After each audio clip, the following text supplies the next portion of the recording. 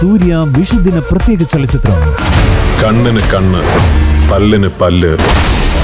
പൃഥ്വിരാജിന്റെ നായകവേഷം യുദ്ധ. രണ്ടിലൊരാൾ വീണാൽ മാത്രം തീരുന്ന യുദ്ധം. ആക്ഷൻ മാസ് പൃഥ്വിരാജ് ചലച്ചിത്രം. കടുവ. കടുവ വിഷുദിനത്തിൽ ഉച്ച കഴിഞ്ഞ് മൂന്ന് മണിക്ക്